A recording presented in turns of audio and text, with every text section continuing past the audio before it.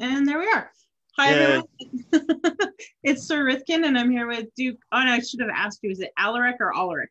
I'm an Alaric. I'm one of the many, and and to be honest, I just go by Duke George at this point because there's like 15 other Duke Alarics now, and I have to stand out somehow. So, Okay, so but Duke, Alaric is fine.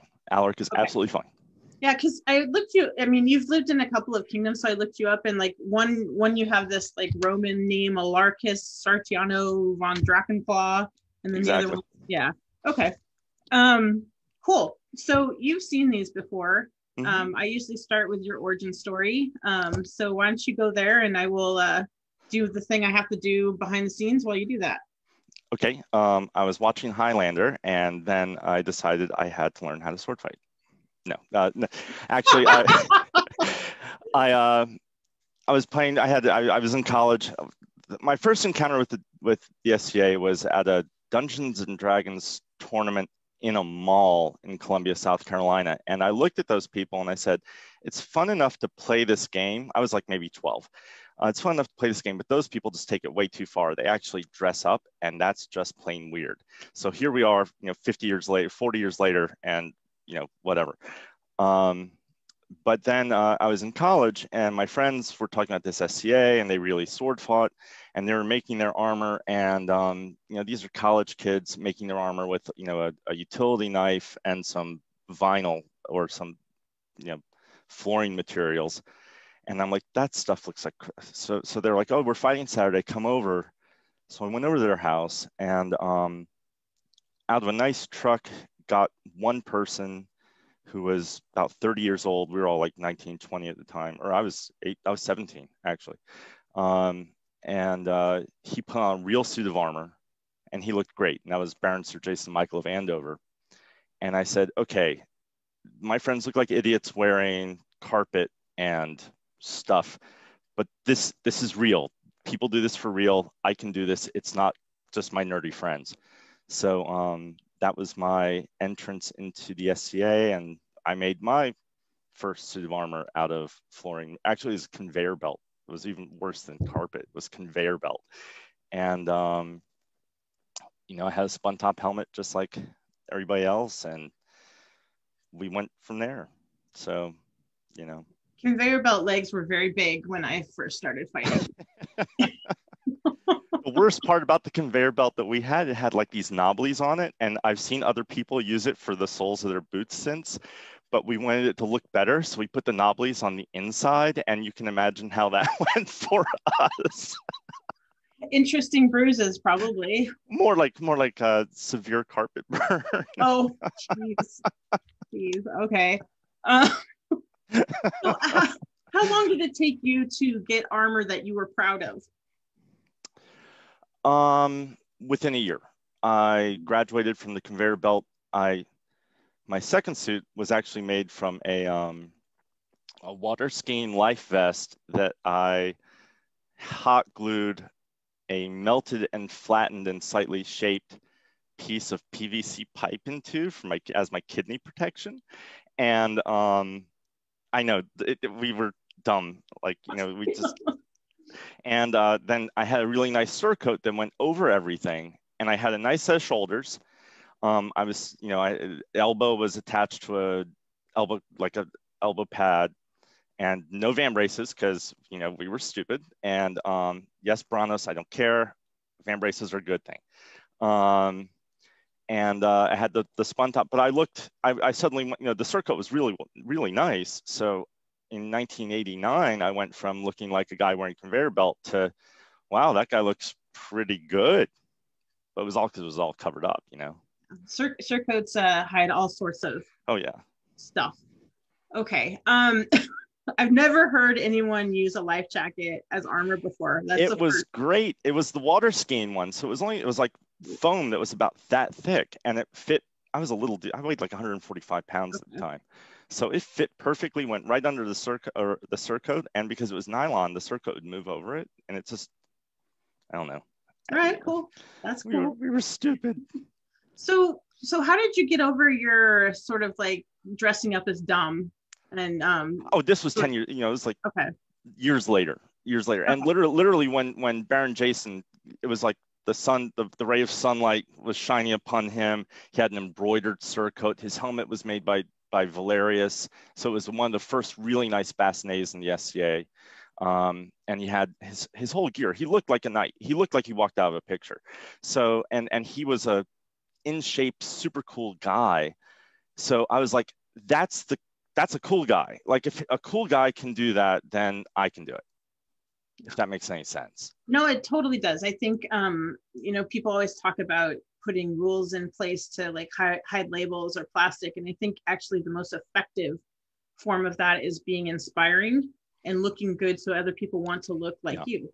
I agree. Um, I agree. I, you know, when when I was working on one of my master's degrees, I actually wrote like a 30-page paper on kingdom. I'm gonna, I'm gonna call it kingdom etymology, where I showed how in different kingdoms there was an inspiring figure in each kingdom at the time, and you could look and and show how every other like in An Tir there's a certain armor type in Atlantia there's a certain armor type and shield type and and break it all down back to one person who was the cool person who started that and everyone was emulating them. That's pretty cool. How, how did you do it for kingdoms you'd never been in before?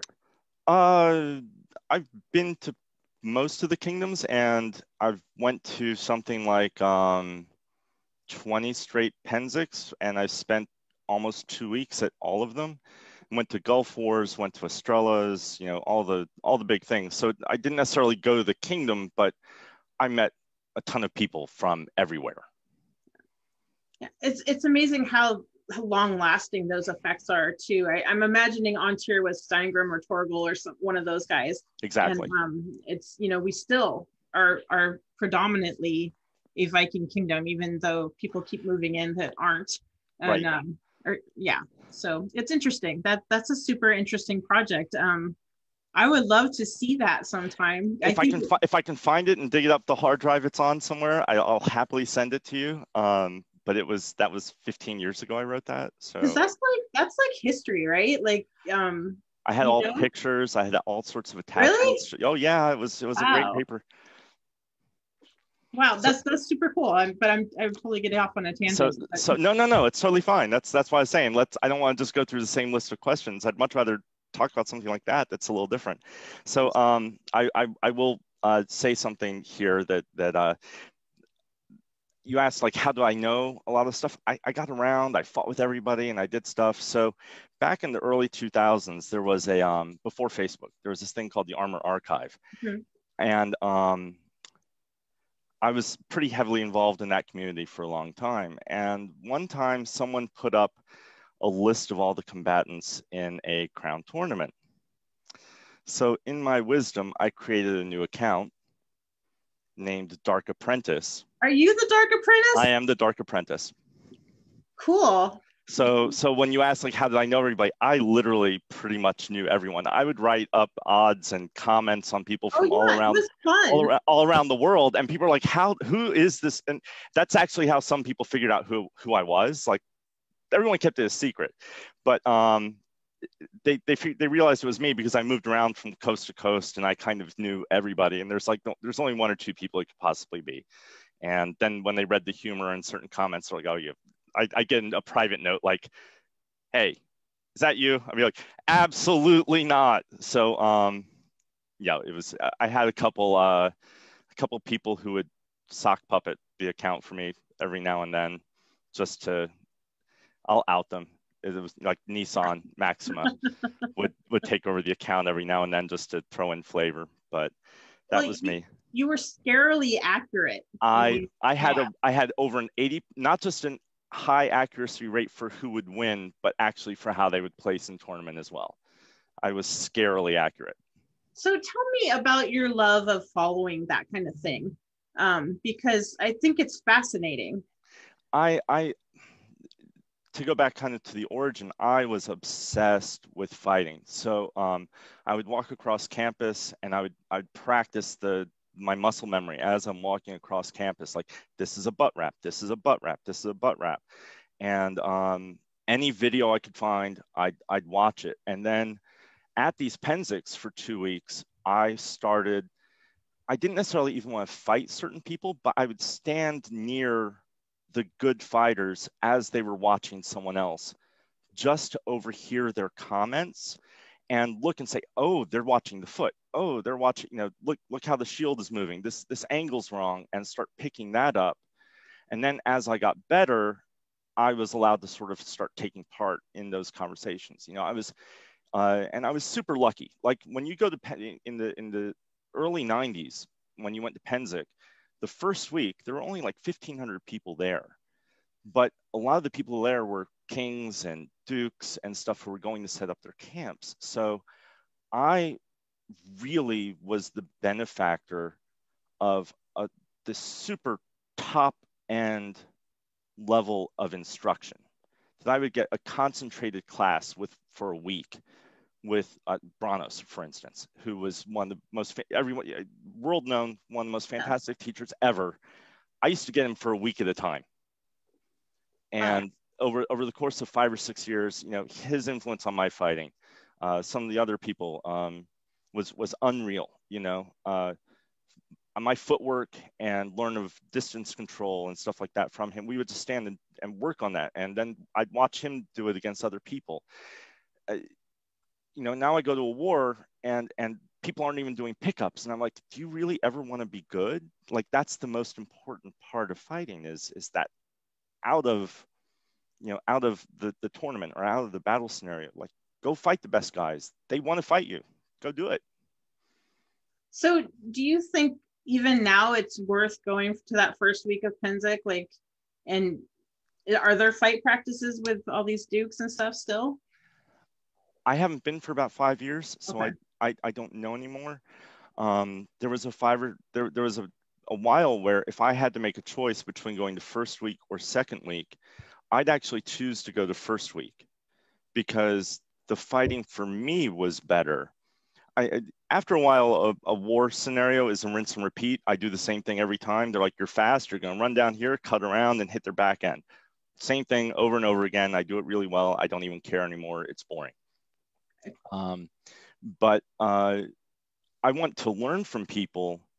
And although the pool might be a little smaller, their avail- availability is much higher because there's only 10 or 20 guys who are on the field. And y'all, it turns into a mega practice you know, or and anytime you're doing that, it turns into what you want to get out of it. You can just fight people, or you can say, "Hey, I saw you throw the shot. Can you show me how to do it? Let's work on that." And most people will, especially if they're just standing on the field all day. Okay, cool. Um, so can you sort of you say you're you're you were obsessed with fighting? It sounds like you're Absolutely. still sort of obsessed and um, passionate. Uh, a little bit. Not as much um, as I um, used to be. so when when you were really working to get your prowess up, um, what kind of things were you doing? I was going to three practices a week.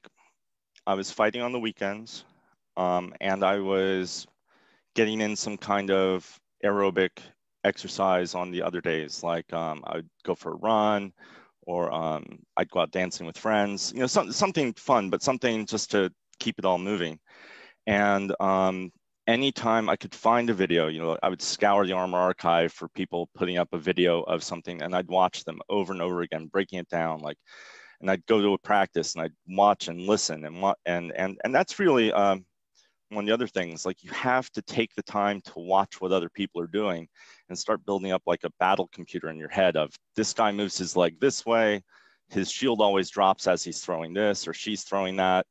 Um, and then I've I've also been really lucky because during the time when, you know, over the first like let's say eight years of my fighting, uh, I I had a nice solid curve of uh, getting better, but then that like year eight or nine, um, I had the opportunity to work with Duke Edric. We worked at the same facility, and uh, one of his squires. And every time we'd pass each other in the halls, we'd stop and we'd shadow box for a moment.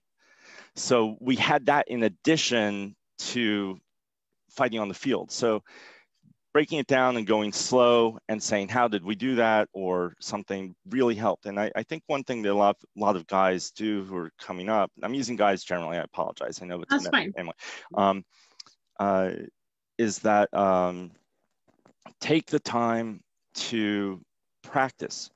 You know, I would go to a practice and I'd say, every fight I'm going to hit them on the offside leg, and I'm going then I'm going to kill them with a flat snap when they're on their knees. Or I'm always going to I'm going to, I'm going to throw the jump wrap and see what's going on. Like work on something specific. Don't just go and fight. You're not going to get any better. You're not going to know what where your deficiencies are and where you can build from. So do you have um, a really good memory or do you take notes? Yes. Because... No, I, okay. I, I can I can tell you shots that were thrown in a fight in 1995. Okay. Like shot for shot. It's ridiculous.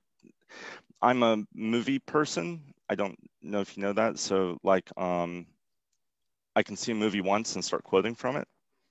And so that ability kind of transferred over to fighting and I can tell you about fights I had in the 90s. It's it I'm lucky that way.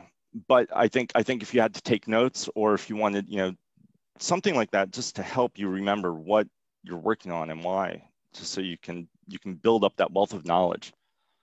Like um I don't know if you've ever done this, but there are fighters I've programmed for over a year before a crown tournament, like letting them think I make a certain mistake over and over and over again.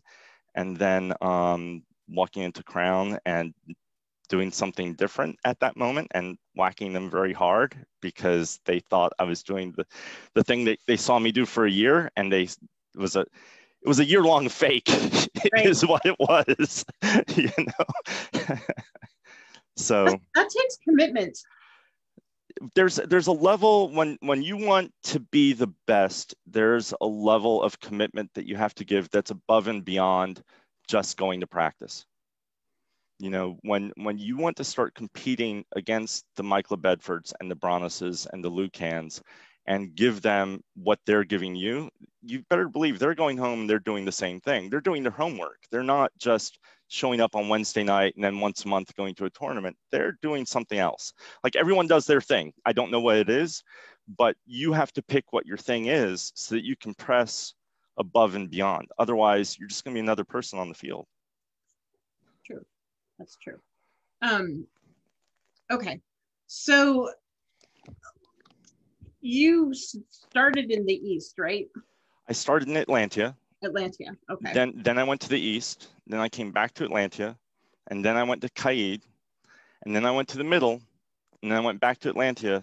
And now I'm in the West. Okay. All right. okay. Um, so you were who were you squired to? Councillor Arlof O'Donoghue of Aaronmore. And which kingdom was he in? Trimaris. Okay, so explain that. so he uh, had just completed a reign in Trimaris and um, had completed his graduate degree down there. And he and his wife at the time, um, he took a position at the university I was going to and uh, Duke Kuhn introduced us at a um, Sea Wars. I didn't know who he was prior to that, and turns out he lived just a couple miles from me down the street, and um, I was able to go over to his house. He had a Pell, he had everything set up. He's like, anytime you want to come over and work out, feel free to use the Pell. So I'd go over there like on the way home from school. Like I said, I got fairly like two or three times a week. I'd help him on projects. We would start working together and um, it was funny. Prior to that, I was like a 14th century guy, and uh, he was Romano Brit. And he's like, "Oh, Romano Brit's where it's at," and I'm like, "I don't know about that." And then he's like, uh, "And and Trimarian short sword is the finest single fighting weapon you can use." So he had me switch from an Atlantean heater to a, a rectangle and a 24 inch short sword. So I spent a How couple years. uh, well, it, I let I let it kind of grow back up to a 30 inch short sword, but um, for the believe it or not, for the time and place, I weighed like 150 pounds, maybe 155, and I'm 6'1. So learning to have to get inside and overcome my fear of getting hit by other people and just staying at range. Uh, and with the short sword system, I could hit people three, four, five times um, and just kind of outspeed their defense after a little while. So for me, it worked. I, I was because I really just couldn't hit people super hard at the time, like not one big overwhelming shot. Um, so I was able to, to, hit over and over again, and that worked. And it also helped me start developing a, a sense of flow, and in combination with footwork, that um, I was able to to build around. And then when I was then I, when I went back to longer sword, it it had already kind of gelled and was, you know, it, it formed a really good foundation for me. So what what do you what's your usual fighting tools? Like what do you like the best? For the majority of my career at this point, I've literally used the same uh, VDK style heater, or not heater, uh, kite shield. I've had the same shield for over 20 years. I've had the same helmet for over 20 years. Um, and I've been using a uh, 38 inch sword, either tip weighted or basket weighted, depending on what kind of fighting I feel like doing that day. Um, but I've used everything from a 42 inch sword down to a 24. So can you explain um, what's the difference for you for with a tip weighted sword versus a basket heavy sword and how your fighting would vary? Sure. Um, so with a, a tip weighted sword, I'm trying to keep someone at range and and like use jabs to change their momentum or their pattern and use my footwork to move in between their their blows so that I can open up their deep offside generally and uh, hit them in the armpit or hit them in the back, something like that. And the, the longer sword really helps me control that sort of range, the tip, the tip way weighted sword does. When I feel like going to something where I want to step in and brawl, then I'll go to the basket hilted sword because I'm really trying to hit you about you know that far above the end of the basket, and I'm using I'm using the um, hold on. so sorry. So like these hilts have a a big end on them, and you use that to this is what's guiding where the sword is going, and then you're using you're just kind of changing it at the last moment, and it's a it's a much harder hitting style than the other so there are people who need you need to pick that up against yeah. to be um, polite. Um, call that the right cross. exactly. Exactly. um, yeah. Okay. Um, is that like on on the? I know that we're we're looking at your basketball early, but is that like a, a like a weight at the bottom? So this is this is a knockoff of um Michael Bedford's style hilt. Okay. Uh, and what he does, he has the built-in um, sword, you know, up up top. But in the back, you drill through and you put a you put a screw straight into the back of the basket hilt. So the back of the basket hilt, as you can see, is really the back end of the sword. So you have a nice weight here, and um, on a 36 inch sword, you're using all 36 inches of the rattan. Right. You know, you're not losing that tail on the end there and uh, and then just the shape of this really helps with the, the flow of a of an end weighted sword when you're using a tip heavy sword um, what kind of basket hilt do you use i used to use um, the illusion aluminum spun aluminum hilts but i've broken them all and i use the plastic ones now just because they're easily available okay cool, cool. Um, so you got knighted in Caid, is that right? Correct. Okay. Um, how long were you in Caid before you got knighted? Under a year. Under a year. All right. Yeah, um, I won. I'd won. I'd won 22 tournaments in under a year. So um, they kind of, yeah, they they bunch of them called up back to Atlantia and they said, "Who is this guy? What what did he? Who did who did he piss off in Atlantia?" And they're like, "Oh, um, this is why I understand." So they're like, they're, they're they're like, "Oh, nothing. We just didn't knight him." nothing wrong. They, the funny thing is in Atlantia, they all thought I was a kid because I was very slightly built and very young looking.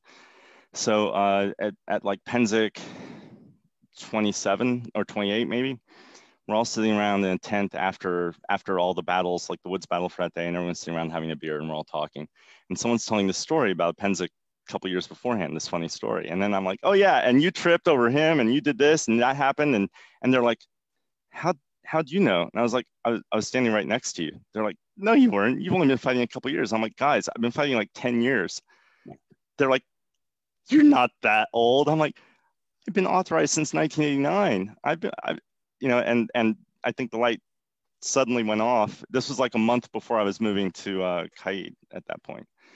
And uh, the light finally went off. Oh, wait a minute, maybe he's, I, I'd finaled in their crown. I'd done some other stuff at that point, but no one put two and two together that I really wasn't uh, an 18 year old kid. They all, they all, people get locked in in the yeah. SCA, you know? Yeah. And the SCA is interesting too. Um, when we're going to events, um, you know it's it's not a year it's like you've seen the person three times right so right. time will pass but it won't feel like a long time exactly um, yeah it's i i have i have a whole set of friends who i realized that they're they were my pen like my Pennsic friends and i would spend every day with them for two weeks you know 14 days and then you think about how often you really see some of your regular friends and you might see them 10 times a year and i'm like I actually am seeing some of those Pennsic friends more than I was seeing some of my real life friends. So, and in a more intense, exactly, you know, like living together situation. Exactly. So, yeah, um, it's it's kind of a funny thing that that, and I and I think sometimes when you start really early, like you did, that it's hard to break out of that mold that you created as this young teenager. Um, yeah, and that's why that's why when I moved to Caid, I suddenly well, I was also out of college finally, and I was working, had a job, so there were certain assumptions that weren't being made anymore about me. Um, so, and and I very quickly stepped in, and in Caid, they'd just never seen the fighting style I was using before. And between that and me actually being pretty good at the time, I was became rather dominant, rather rather fast out there. Um, did you have a mentor in Caid? I didn't have a mentor per se. Um, Duke Edric, who was Count Edric at the time, he and I were like just a couple months off in age. And uh, at one of my first events, I met him and we started going to practice together. And we, he became my fighting partner. We pushed each other. We really pushed each other from being like really pretty good like good fighters to being really excellent fighters. Like he, we we were able to always find something new, each one of us, and bring it to the table and force that next level out of each other. Super cool. Um, yeah, it was it was it, yeah, and he was in excellent shape and just like you need you need a, a person like that for your. I'm going to quote um, one of my favorite movies, The Last Dragon. Um, if you've never seen it about Bruce Leroy, where he goes to his master and they play the song, it's the final level. Like you need someone like that to push you to the final level. Okay. Um, cool. Um, all right. Uh, so you got knighted in Caid, um, and then you won crown like a year later, right? About a year later, yeah. Okay. Um, were you going for crowns before then, or was that the first one I, you sort of went for? I'd finaled in a crown in Atlantia prior to that, and I'd finaled in a crown in Caid prior to that. I fi- the first crown I finaled in Caid uh, was nine. No, it was exactly a year. Yeah, exactly a year after moving there. And uh, did you? I think before we we we went um, live, you were telling me that you don't fight for someone you're involved with. Is that right? That's correct. Yeah. Well, I mean, I I, I have, but um, since then, I've kind of given it up. I just see too many relationships and obligations and things that kind of get messed up um, by people who aren't truly committed. And um, if I if I fight again in another crown in the future, I would fight for my fiance, who will probably be married by the time that that happens. But um, uh, it, that's different. Um, but but when I was, it, I just saw so many people not doing it, and people talk about different inspirations. When I was really driving myself, I was my I was inspiring myself to achieve. I wasn't looking for anything outside. I didn't need it. I focused within. I didn't look without. So, you know, that might change in the future. Like everyone has to have a focus point to to be able to, to try and get better. And that might be doing it for someone else. For me, it was literally I had to overcome my own mountains for me.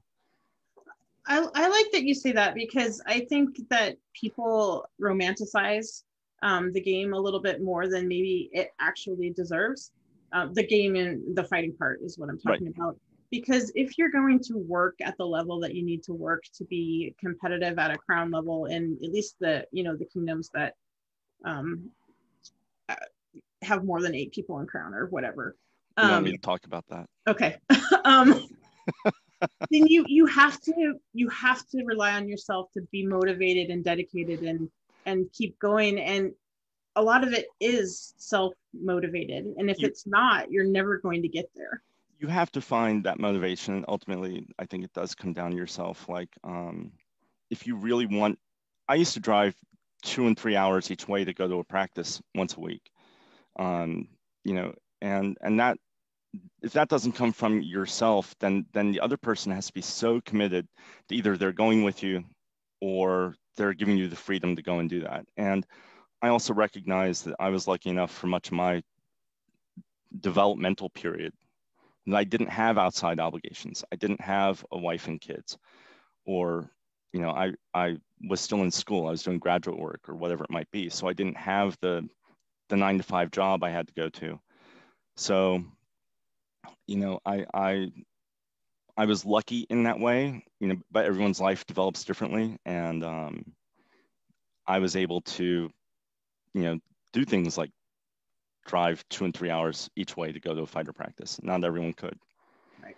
And then in, here's the weird, the odd thing about Caid that a lot of people don't realize is if you live in, in LA, there are 12 baronies within a two hour drive. So you know, um, to, my my friend Stuart and I, we went to four events in one day while I was king. Seriously? Seriously.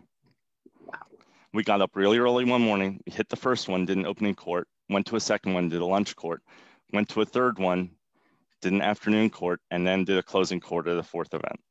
Wow. Yeah, we were insane. We that's that's why, but that you know, I was younger. We had nothing yeah um yeah that's interesting though like does Caid I, I, guess you don't live there anymore so you wouldn't know but when you were there mm-hmm. um, did they have like regional practices because i find like in seattle there's there's i think six or seven baronies within a two hour radius mm-hmm. it's like all divided right and we don't have a super practice where we push each other right um, is it the same down there or there were a couple like really well-known practices. Um, I don't know if they'd be called regional, but if it's only 45 minutes away, I mean, that's a regular drive for a lot of people. So that's not a big deal. But the, um, the San Diego practice, the Calafia practice used to have 50 to 100 people at it every week. Wow. So, you know, I had a squire who was down there and I would go and hang out with him, especially if there was an event. I'd go down there for the weekend and hit the event on Saturday and then go to the big practice on Sunday. Um, just because, you know, that was, it was huge. Uh, and then there were a couple other practices that, that had 20 or 30 fighters at them pretty regularly as well. So did you, you said something about how you like to reinvent yourself. Sure. Um, can you talk about that? Uh, you know, you look at some fighters and they'll they'll pick up a really small shield or something, which I personally I kind of find that insulting to other fighters, but that's me. Um, you know, I'll I'll change my persona, I'll change my my name. I've you know changed my name like 14 different times now, and um, makes it I'm, really hard to track you down. By the way. Yeah, well, there's not much video of me. I I can't find it uh, because most of my my real fighting time, I kind of retired from tournament fighting because I just don't get the same um, thrill out of it anymore. And if I go to a tournament, I'd much rather say step aside with Duke Kuin for 20 minutes and work out with him than sit around for five hours going through each round of a tournament and fighting, you know, what seven times or something. That that's not a challenge anymore. So um, I got my new membership card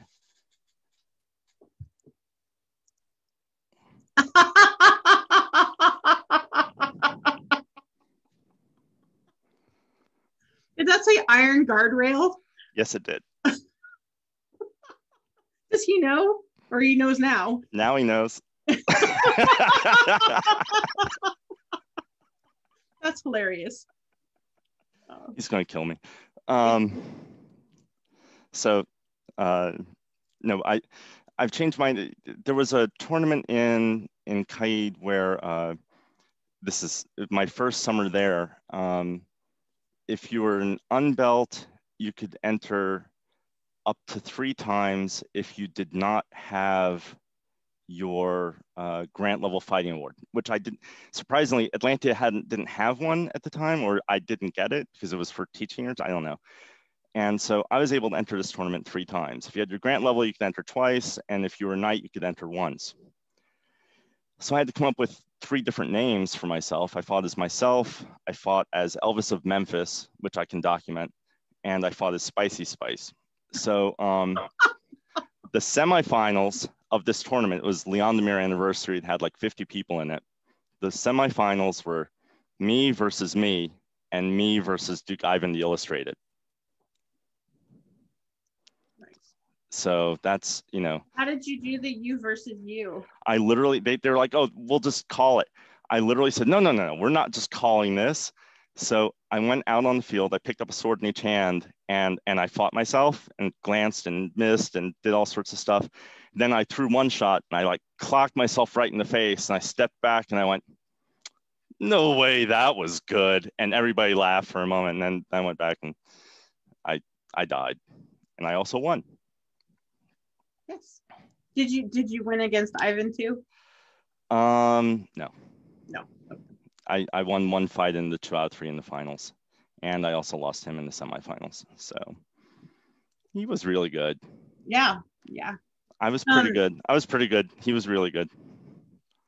So let's talk about reigning a little bit. I mean, sure. Um, I nobody really talks about the dark underbelly at all. Oh, it sucks. Yeah, um, I'm sure. Um, what what are some of the things like without you know um, being too naming names without naming names? Yeah, without naming names that like you walked into that you would have never thought. Uh, giving being in a barony and giving someone who's clearly deserving an AOA or a GOA and having basically half the people walk out on you because they didn't like that person. Um, things like that you just you don't know like and it's it's not a big deal to you but apparently it's a big deal to a lot of other people.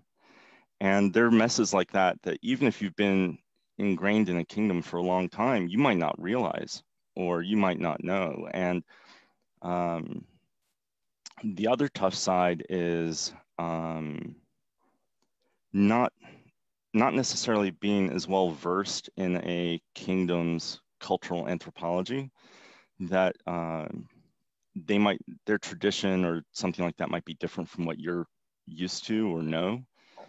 So um, might be as simple as something you know like on the on the east coast they you know they say vivat on the west coast they say huzzah. You know stuff like that. So you you might walk into something in a kingdom that that you just didn't even realize existed or there's a relationship you weren't aware of.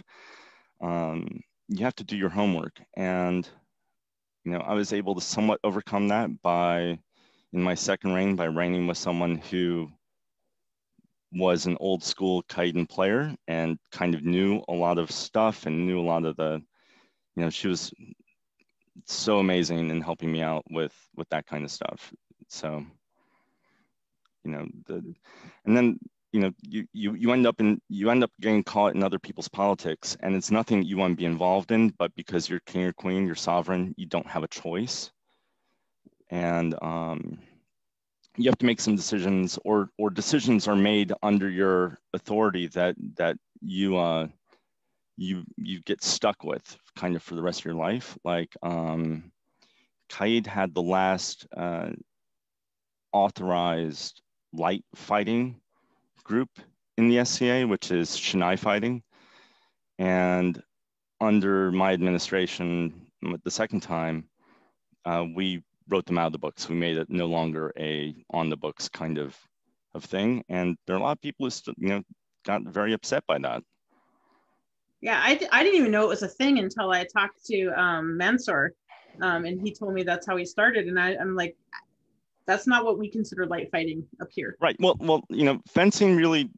keep in mind that in a lot of kingdoms, fencing has only been around for well, I guess it's been 20 years almost since I reigned.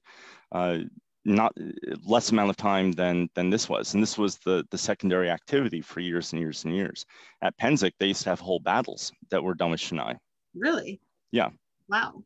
I didn't yeah. know that. Not not necessarily on the books battles, but okay. you know, 50, 100 people would would uh, down in in the bog where the bog area is now. That used to be the woods battle area, and they would go down there with Shinai and spend the afternoon chasing each other around with Shinai in the woods. So, you know, it's there are a lot of changes that yeah. happened yesterday. So somebody tells me I need to ask you about your ducal cornet. I well well I think that's not what they actually mean. Oh. Um, my ducal cornet I I it's somewhere I, I don't even know where it is. Um, it's actually my the cornet I used to wear the most is my county cornet which I sent to Cameron in the middle when he got his county. And um, under, and I, I wrote a note with it saying, hey, when, when you get your duchy, send me my cornet back. Well, he's never gotten his duchy. Apparently, apparently it's no, he, he did. Apparently, it's been oh. converted to his ducal cornet at this oh. point. So that's my ducal cornet story. Okay. Okay. Interesting. I okay. My sorry, my kid my kid is telling me I'm being too loud. okay. okay. okay. Um so you you obviously are like obsessed with fighting, but you've only won crown. Mm, um, sort of. That... There's there's an asterisk next to my number of wins. Okay, so tell me about that, if you're willing to. Uh, in one, for instance, um, I won, and uh, my opponent and I were both kneeling there, and he didn't look very happy. So I said to him, "Hey, what what's up, man?" And he's like, "Well, I kind of thought I got you with a a thrust to the body." And I said, "Well, you know, I I pretty sure I picked it up with my basket hilt, but um, and you shoved my basket hilt into my body. But if you think it's good, um, you win. I don't care." And he's like, Really? I'm like, Yeah. And I've done it twice already. I don't want to reign again. It's a job. And if you want the job, it's yours. So, um, you know, six months later, he comes up to me. He's like, Well, I watched the video and you were right. It was your basket hilt. I'm like, All right, there you go. So that's happened. Stuff like that's happened twice. Twice? Yeah, I lifted someone in the air with a thrust. And it wasn't good, and was told later that there were reasons why they didn't take it. Interesting. Um, hmm. Like they chose not to take it. That's what I was told. No names there. I love the person very dearly, and I agree with why they did it. So I don't have a problem with it. I, you know, let's let's talk about video for a second because sure. you're one of the guys from you know the great fights of youtube that goes on on tuesday nights. I'm plugging it because it's fun. And Thanks. you guys are doing this whole series now with um different you're focusing on different kingdoms. Correct. Um which is inter- uh, i'm not going to say interesting um it's fascinating. To focus that's the whole idea yeah. Um so let's talk about video and and it as a tool because it's obviously something that you um, use, right? Correct. Um, so I don't know. Tell me what you get out of it and how you how you look at it when you watch it. There there are a couple different things. Um, you know, I look for. I, I watch video of other people more than I watch video of myself. I know that other fighters watch video of themselves. Um, I'm looking to see what other people are doing and to kind of program that into my battle computer so that I can not have to think about it during the fight. So it becomes a reflex and I'll watch the same stuff over and over again so that the neural pathway is shorter then it might be, I don't have to be cognizant about what I'm trying to to watch on the field. I can just see it and know what, what's going to happen next. Um, and I'm looking for various tells and um, if I see something that's really interestingly done, I look to see how and why it worked or what the body mechanic might be on it. You know, um, is the person just really strong, for instance, and they can force their sword to go a certain way? Or did they really use a, a, fluid mechanic to get it there? What, what's going on? What can I, then what can I steal and adapt for my own use? So, um, you know, back in the day when I didn't have a car, for instance, um, and I was in college and I was stuck there, watching the five videotapes of Atlantean crowns I had over and over again was the only way that I can immerse myself in in that fighting. So it's just something that I've continued to do over time. Um, and it's a way that you know, like like we were talking about earlier, like how do I know fighters in An Tir? What were they doing? Well, I watched you know 400 hours of An Tir fighting, so I knew who the people were, and I knew what what they were going through and how they fought. So, with I, I want to sort of talk about, and somebody says Stuart says it was three times, not two times. Um, what? There's the crown thing. Oh, was there another one? I don't know. No, it's it's, it's as far as I remember. Oh, I don't know. Um, do you think it's easier for you to let go because you are already a duke, or is it just something that like you're just you know what i mean? Like so so my goal um, it's easy to say. My goal was when i was very young was to be the best. I'm not i'm never going to be there. So that my my second goal was to be in the club you know? And um i got in the club there's no there's no going above that. There's no other level. There's no you know who's the best on any given day, you know, who doesn't have a hangover, who doesn't, you know, who, who didn't twist their back, whatever it might be. But there's 10 or 20 guys, girls who are out there who are in that group at any given time. And um, maybe it, has been 20 years, so it's it's a bigger circle at this point than it was 20 years ago. Right. Um, if you're in inside that circle, you're inside that circle. And once you're there, you're looking out at everyone else. And um, it takes a huge pressure off of you because you're not having to try to achieve to, to make it to a certain place again. You know, if um, if I walk out on the field, I can walk up to, you know, like let's say, let's say we're at Pennsic and there's a group of guys from the east in Atlantia standing there watching fighting, and it's um, Brian and Michael and Lucan or something, whatever. I can walk right up to them, and I'm part of that circle. It's, they're not looking at me like, "Who are you? Why are you here?" I'm accepted in that group, um, and I've kept my subscription up, so uh, I'm still allowed to to be around that. And once you're in that circle, it's very different from trying to achieve that. So your focus can change. You can start working on different things like how does my outfit look? How does this flow? What's, you know, you're not trying to impress anybody. You're not trying to have to do this stuff. You can start, um, the, pressure's just completely different than what it was when you're trying to get there. Yeah, I just like people have quit the SCA over less, right? Like I mean, people not taking blows or, or interpreting the fight different has been an issue for forever. Yeah. Right. Um, yeah. Go back to the formation of the MSR in, in the East Kingdom, where uh, what's his name, Bob Fox, I think.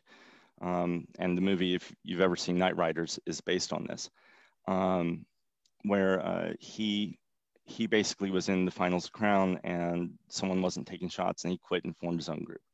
It's been happening for 40 years. Um, there's just a the, the like the biggest loss for me with the situation we were talking about earlier was not for me. It was for my consort. She's never reigned now. Right. She's she's the one who lost out. I didn't need. I you know it's like I get some thrown go out to me. Big deal. I don't care. Been there, done that. Don't need to do it again. Um, would I if the situation was correct? But uh, she's the one who lost out and for her it meant something so that's my loss is that she didn't get to do something like that. Not not for me. Right. Um, one of the reasons I don't fight tournament anymore is because I don't, you know, I spent one year where I won over 20 tournaments. I don't I don't need to do that again. If I want to fight and and see where I am, my challenge is to say, you know, who's here on this field? You know, who's here today? Let me go and test my mettle against that person over on the side. I don't need to, you know, that's that's where my push is. That's where my excitement lies at this point. So you you stay motivated um, because you love fighting and you love yeah. to see where you are in the in the pecking order. Right. Um, and right. the way for you to do that is pickups. Right. Yeah. Very specialized pickups. Um, like I at this point in my career, I don't care how I do against a guy who fights polearm.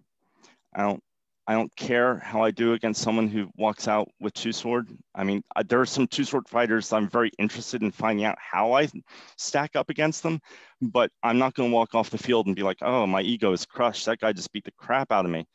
It's um, I, I was a tennis player as a kid growing up. I was a ranked tennis player, and you learn very quickly that um, if you're playing against a left-handed player, that's completely different than playing against a right-handed player. So your measure of skill against a left-handed player is something that you you know if, if you're not used to the, the ball spinning the other way and curving the other way you're just not you, right. you don't have any practice against it. So you you're you're if you let that break your ego or your concentration then you're not kind of looking at it the same way so if i go out and fight say maynard from Æthelmearc who's an excellent pole arm fighter very successful duke in his own right i think he's won like four or five times at least uh, the only measure I get against that is fighting against him. So if I fight him once a year, and he's fighting against sword and shield guys all the time, how is that a test for me? You know, other than can I throw myself in and instantly pick up on someone and what they're doing and this other stuff? But um, so that's kind of where like I don't have that same sense of loss for fighting against something I'm not used to. I think that's that's a really great insight because it's it's really about taking your ego out of the equation, right? And and um, you're doing that in a way where you know you you stress importance on different things, but anybody could take that same mindset and and sort of have more fun fighting because not everything is a, a value judgment of you, right? No, no, and and and you have to decide what you're setting your goal for. Like um long time ago, I was at an, it was Ice Dragon in Buffalo, New York, and Osis had come over. Duke Osis, he wasn't a Duke yet at this point, had come over, and um, it's a bear pit uh, kind of points tourney where there's like four or five lines and everyone. He he was running through like fighter after fighter after fighter after fighter, and no one was touching this guy. So my goal for the day, my I gave myself a success goal of can I leg him let alone beat him. And I legged him twice. So I walked off the field giving myself the small goal. Give yourself a small goal every day. Don't, not every day has to be this. Every day should be that. Like, did I throw my flat snap better? Did I, did I land the leg? Like, like I was saying, I'd go to practice and say, I'm going to leg everyone and then kill them with this. That's my goal for that day. Not, am I going to dominate at practice? No, you have to go into practice. You have to practice is about practicing you know, you can spend a whole day losing every single fight in practice and have a very successful practice. It's not about winning every time. It's practice. You're learning, right? I mean, that's that's ties into the whole victory conditions thing, right? Yeah. Yeah. Practice practice isn't about victory. Practice about practice.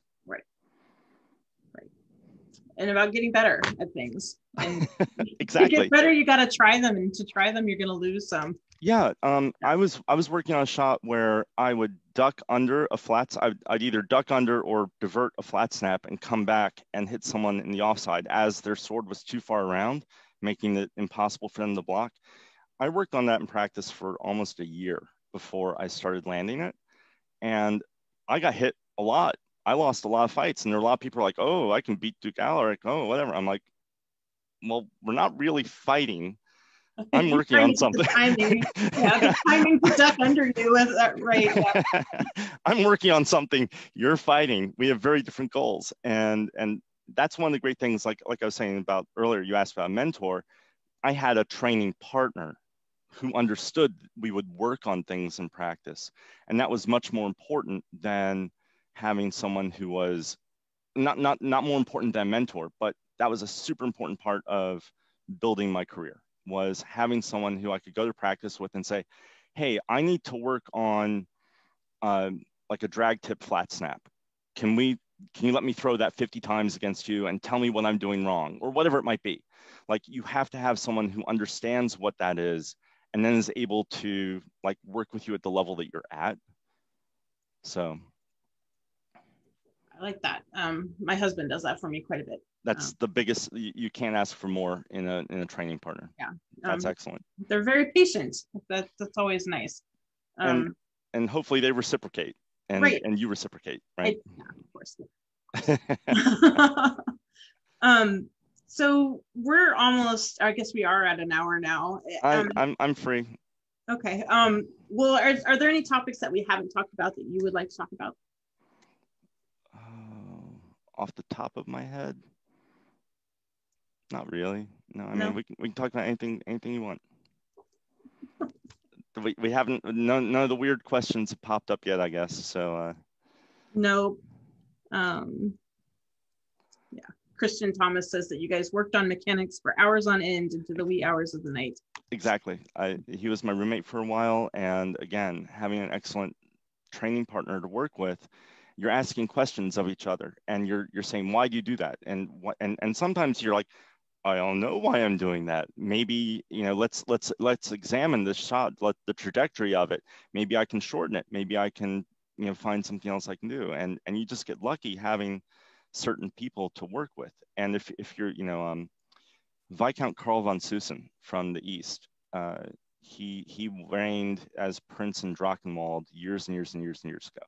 And he's the one who kind of told me that, like, like sometimes you have to be illuminated to something that seem might seem obvious or easy, but he he's like, yeah, I was in Drachenwald and no, there was no one really great to practice with. And he's the first one who kind of told me, he would go to a practice and he'd work on just legging people or he'd work on X or Y. And getting that whole idea of your success or your victory, your victory condition being that small thing for each practice and building on that each week is really much more important than just walking in and you know being the greatest.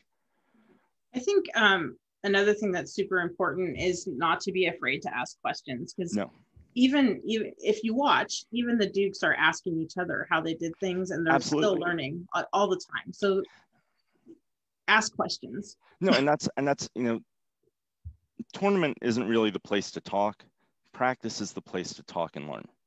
Um, and that's what that's one of the great things about going to that first week of Pennsic was for me, was because it's not just about asking questions. It's just as important to listen because there are other people around you who might, you know, um, anyone can have an insight into a, a, fight because they saw it from a different angle or whatever it might be. And they can have seen something that you didn't see. Uh, like for the longest time, Duke Lucan throws this deep offside that hits people and cracks their ribs, you know, that kind of thing.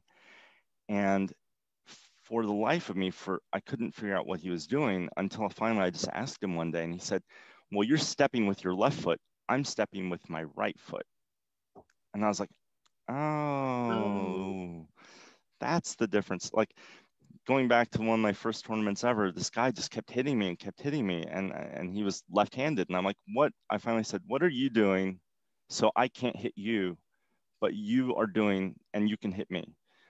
And he, he was the first person who was like, I took the point, I take the point of my shield and cock it over this way. I don't leave it in its regular spot. And I, I do that against righties. And I was like, thank you. And the moment I did that, the fights immediately changed because there was a, a something that you ask and learn about. And and um, I've always been very open with people. Like like any random person walks up and says, "How did you throw that? What did you do?" I'll take the time and show them because there have been enough people. You know, I'm paying it forward. There have been enough people who did that for me that I owe it to the community to do it for for the new person up and well, it could be an old person, it doesn't matter. There's no if we share our knowledge and share what we've learned, we make the community better and then we all get better as a result. Right. So so people who kind of you know you can't come to my practice if i don't know you or like some I, I understand private privacy but i won't show you this or i won't work with you i that's not my game. I i don't i'm not good with that you know. Let's let's share and make it better for everyone because if, if someone figures out how to beat you then you get better because you have to figure out you know how to evolve and adapt to that. Yeah when when i first moved out to Caid, for instance um they i threw this super deep offside. No one there was throwing it. And in the knights community you know as i started winning tournaments and i was doing my success ratio was going through the roof. And um, in Knights Council, I was told this later, uh, is that they were they were saying, oh, he's just a flash in the pan. As soon as we figure out what he's doing, we'll shut him down. Well, you know, over over like the next three or four months, I went to Pennsic. I had another masterclass lesson at Pennsic. I came back with something new. I redeveloped. I re-added. I, I I did this over and over and over again and you're always adding in something new. Stay one step ahead. And I think that's where, especially some of these great fighters who've been fighting for the better part of 40, 50 years at this point and are still at the top of the game, right. is because they're still innovating. They still have a love for it. And, and they're, you know, they're stealing from all the best people around them and amalgamating it into their own style. And they're able to stay one step ahead still. This is one of the only, only sports that I've ever seen where people who are older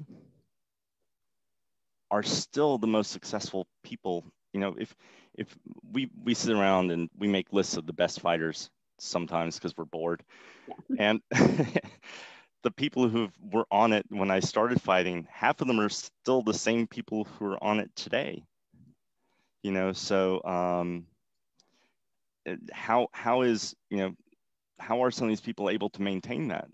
And yeah, it's, it's yeah, and you hear Branos talk, and he says he's in the best shape of his life now. You know, because he's working out, and you know, and I don't know, like he and Ragnvald are sort of blow my mind because they, they go, to, they're they get to fight more every week. consistent fighting than anybody else like I've ever heard of. You know, there are and, a couple. There are a couple other people who I put in that same kind of group. Um, some of them have taken a little bit more of a break now and and they're slowly um, kind of falling away. And that's you know one of the unfortunate things about our sport and i call it a sport that's fine. is that um, a lot of the good fighters of today will never know how really good they are because um, they we, we we will never be able to see them tested against some of these other greats who have now either gotten broken or quit or let them walked away or or whatever it might be you know i would love to see certain fights you know like um, miles from here in the west is an amazing fighter but i don't know that i'll ever see him fight against branos or or you know some of the other other greats from 20 years ago or 30 years ago that's true. So somebody asks, what new things are you doing today to push your game to the next level? I'm just watching video and analyzing. I'm I'm I've changed my workout to I'm doing intervals now rather than just straight running. I think they're better for the activity that we do. Um, I built the first Pell I've had in probably over 20 years. Um, so I can start working on some of the shots that I've been building in my head for 20 plus years. Like, can they even work? um, and then, then once we have the opportunity to start fighting again, I, I'll, I'll go to practice. And what's weird is I, I like going to practice way more than I like going to a tournament at this point. I'd rather go to a really good practice than go to a tournament. Yeah, I, am kind of in that same boat. It's, uh, it's just more fun to it, hang it out is. at pickups. It is. Yeah. And then go back to someone's house and have a barbecue or whatever. No, that sounds like a perfect yeah. afternoon. it really does. It's like that's the perfect weekend for me. Um, yeah. So All right, we sort of already looked at your sword, um, but is there any other things you do special to your sword that we should look at? I make the when when I'm really competing, I might carve a handle. Um, but when I'm also practicing really hard, I'm going through a sword a week, so I don't. I I'm kind of lazy. I make duct tape rope and I wrap. Um, I use sanded rattan, inch and a quarter sanded rattan, um, with one layer of strapping tape on it. For the last eight inches, I spiral wrap it both ways so that it maintains a little longer, but they last a week, maybe three weeks if I'm really lucky. And, um, but the duct tape rope on the handle, once I put my glove on there, it does not move. It, it stays. So, um, you actually have to move your hand inside your glove to get the the sword like I'll rotate the aspect uh, the blade aspect in my hand so I can throw a different shot and make sure it lands blade on. Um, but that grip that's not going anywhere. So I and then I just straight I straight strapping tape the sword and then I put where the the strapping tape the two big pieces of strapping tape don't quite touch I cover that with the blade so I make the laziest, lightest swords I possibly can. That's what I do with the blade too. That, that, little teeny weeny part, you just sort of just cover that way exactly. oh, that's funny. Okay, um, Sean says that when he puts together his next practice, he'll let us both know. Mm. So, yay! Hopefully next guy. April. I I would love that. Whenever it is, I love that guy. Yeah. All right, so let's do the final ten. Sure. Um, sure. I sort of changed these up a little bit, but um, you know, if if there's one you don't want to answer, just let me know. What event have you never gone to that you would like to go to?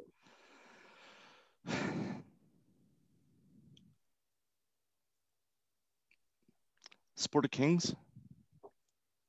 I think next year, August 19th through the 22nd. Or either that or um, Adult Swim, one or the other. I think you would dig Adult Swim because it's all pickups. Yeah, no, I, I, yeah, and I know everybody. It's like, yeah, it looks like it's a blast. It looks like it's the perfect event in some ways. Um, so one one of those.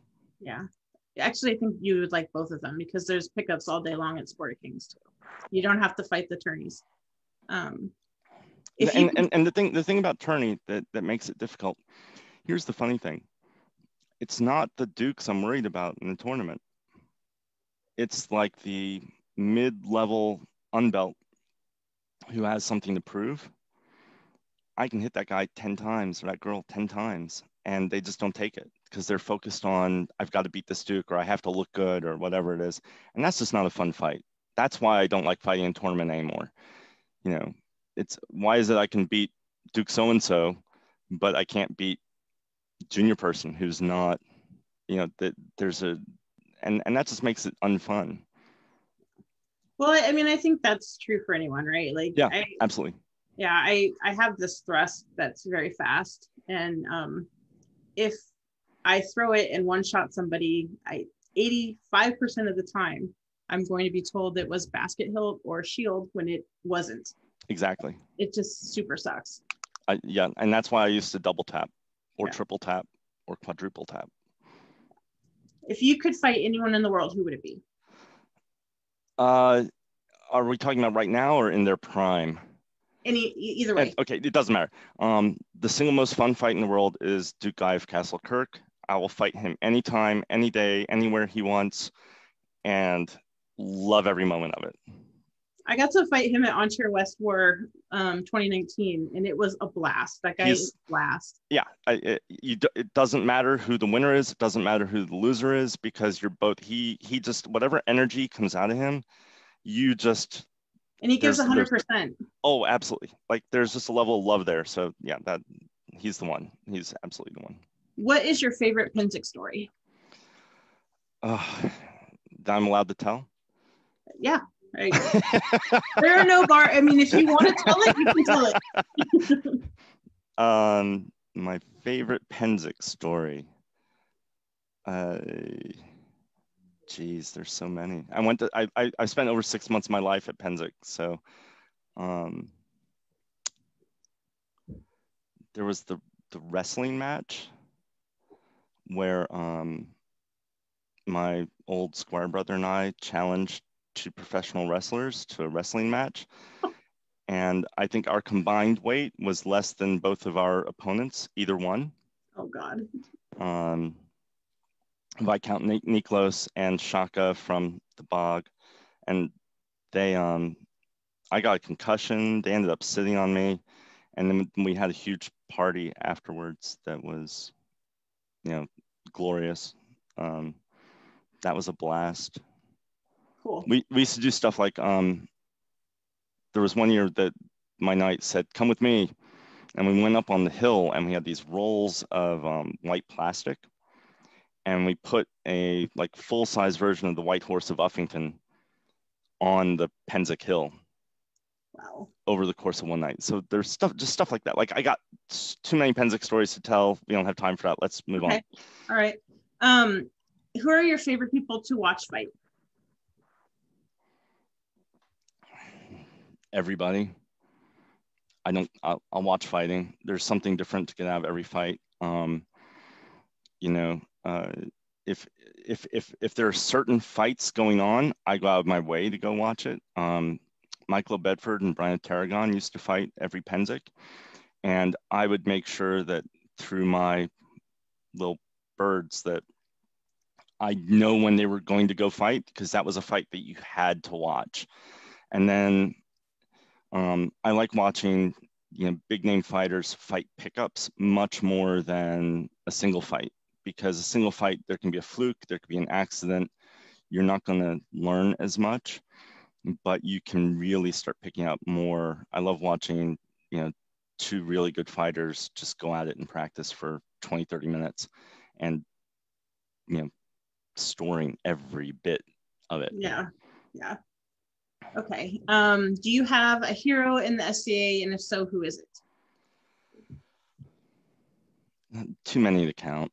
I have, I have, you know, um, too many to count. Okay. They all know who they are. What is your favorite medieval esque or period movie? Uh, Excalibur, Highlander, etc. Um, there's one movie I don't understand, Blood of Heroes. I don't understand why everybody loves that movie. I don't get it. Um, it's just it's Rutger Hauer. Like people just have a thing for Rutger Hauer. Well, go watch Blind Fury then. You don't watch a, You know, watch Split Second or some. You know, Ten Nighthawks. what book do you think everyone on the path to knighthood should read? Uh, that's a really good question. Um, it depends on what they, you know. I bought every dumb fighting manual that every, they're not dumb, but that every person put out. Like if I saw one for sale at Pennsic, I just bought it. Um, I didn't care who wrote it because it gives you a different insight into to a different way of looking at fighting. And um, understanding how and why people look at certain things on the field is very important to helping you form your own version of what you are on the field. So take advantage of of that just to you know even an old one that was written 40 years ago to, any any one of those books it will help you build who and what you are and help you better understand how not just um, you look at fighting but it'll give you insights into why you look at fighting that way because you can read it through someone else's eyes. And a lot of those old manuals are available in the files section of either this um, group or other groups. Um, I know I have collected them over the years and I've put them up. Do you have a um, copy? I agree, hundred percent. Do you have a copy? Do you have a copy of Duke Patrick's uh, Trompe l'oeil fighting I style? Do. I do. Oh, I need a copy of that one. Okay. I, I, have been trying to find it, and um, I'm trying to find Duke Dirk's uh, Draconis one as well. I don't know if I have Dirk, but I definitely have Patrick. It's it's in here. Oh my goodness. yeah. It's because and if you want a seriously different way of looking at fighting, I flipped through it, but I never had I could not get a copy of my own. And that will give you such a different insight into how someone else looks at fighting that yeah. it's it's really great for that yeah he's all about like slipping things and and um sort of magician kind of things exactly it's, it's interesting Uh. I had never thought about fighting that way until I read that. That's what I'm saying. That's like like yeah. you, you get an insight into how someone else looks at it, and and it, it gives you a you know, maybe it'll be nothing that you ever use for yourself, but it's certainly a different way of of thinking about it. Right. Exactly. Uh, Jimerson Kaz says he has a copy of Duke Dirk somewhere, so I'll get that from him. Mm. I don't have that one. um, all right. If you could change one thing about the SCA, what would it be? Um, I would. I, am gonna. This is gonna be really hard. I'm, I'm. I'm kicking the hornet's nest right now. I'd get rid of Masters of Arms, and um, I would also make it so that uh, Knights wore golden chains, not unadorned chains. Yeah, mine's silver. I know that. I know. Uh, I know. It's just a. It's it's a it's a bug for me because reading about knightly stuff, it, you know, growing up, it was golden spurs and the golden chain, and it just bugs me that like I get it. We're not medieval knights. We're KSCA, which is something I have to remind myself of all the time. And our rule is different. We do something differently, but it's just like that little thing is stuck in the back of my head. Um, it would be nice if we had a little bit more um, consistency because you can't from kingdom to kingdom. Tell, um, no, no, you you can't. And there are people who don't know. And in some kingdoms, squires wear chains, and in other kingdoms they don't.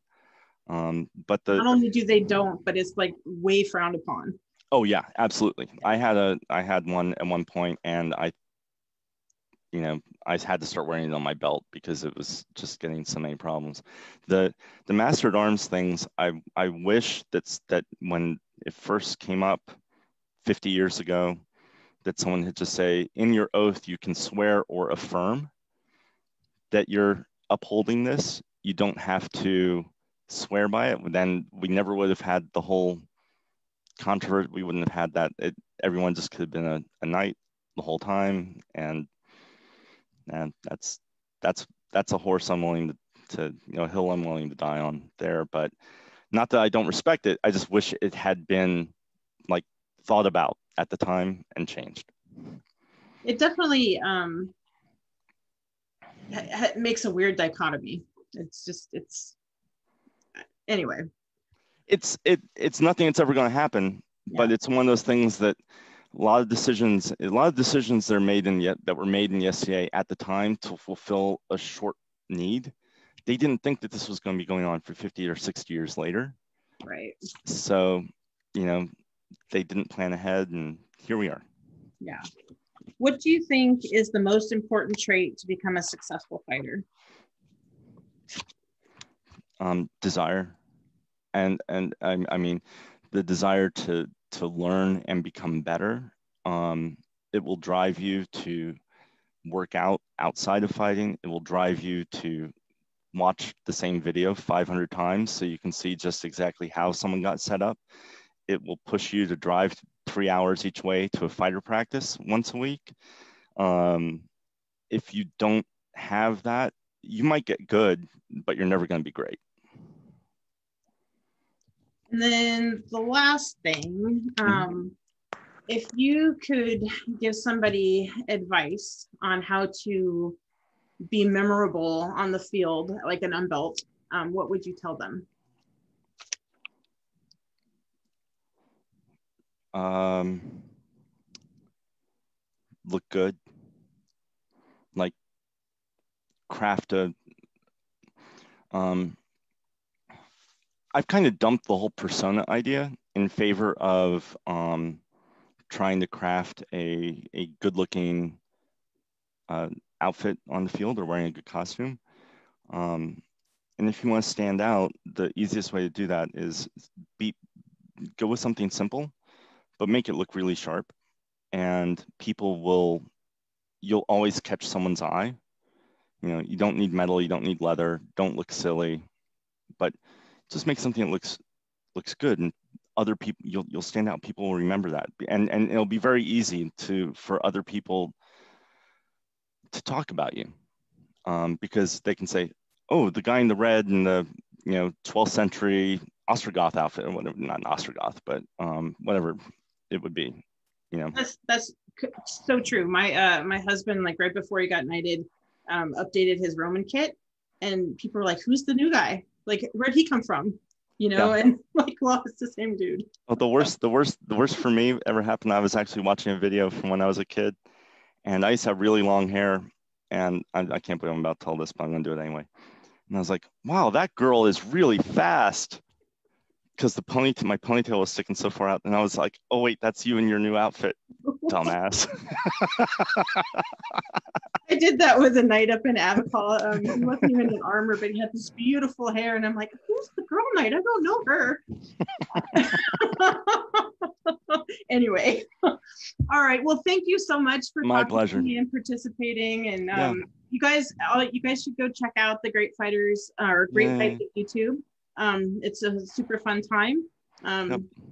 So anyway, thank yeah, you. And, my pleasure. Um, we'll see you all next time. Bye bye.